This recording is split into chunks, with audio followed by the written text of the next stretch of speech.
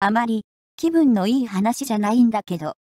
近所に小学校に入るか入らないかぐらいの放置子がいる。両親は共働きで、母親も働いてるのに、保育所に入れずに放置してる。気のいい人が、昼間から一人でふらふらしてるその子を気にして声をかけると、私一人なの。ママ帰ってこないかもしれないの、と。すり寄って、そのまま家に上がり込んで、勝手に冷蔵庫の中身を漁って食べる。散らかし放題好き勝手する上、親が探すことをしないので、放置子を連れて家に連れて行くまで。居座り続けるので、ご近所では、絶対関わるな、というのが合言葉になってる。年齢の近い子のいる家もそうだけど、専業やってる家を把握してるのか。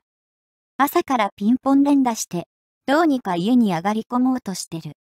いろんなところに連絡をした人もいるらしいんだけど、動きが鈍いのか、家に訪問しても問題なしと判断されてるのか、放置子は今も野放し。で、家の外で、その放置子が泣いてる。けれど、そこで蚊にあげたら、うちがターゲットになるのはわかってるし、今日は、たまたま、家に私がいたけど、普段は働いてるから、8時とかに家の前で粘られたら仕事に行けなくなる。自分が鬼なんじゃないかと辛いけど、我慢して外で泣かせた。うちは、子供が欲しいのに恵まれてないから、放置する親の気持ちがわからないんだよ。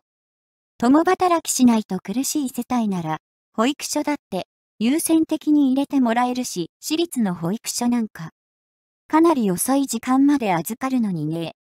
この前なんか、放置子、玄関ドア叩き出したんだよ。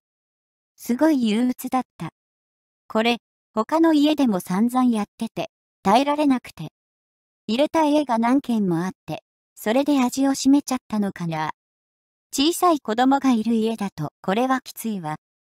だいたい18時ぐらいになったら、親が帰ってくるのか帰っていくし、放置してるけど、隣の人も、うちもこの間あれやられたのよね、と愚痴って言った。お隣さんリタイア組だから特に狙われやすいらしくて。放置子の親が、時々、うちの子がいつもお世話になってますと。子供を置いていこうとするから、その度に、預かるつもりは一切ない。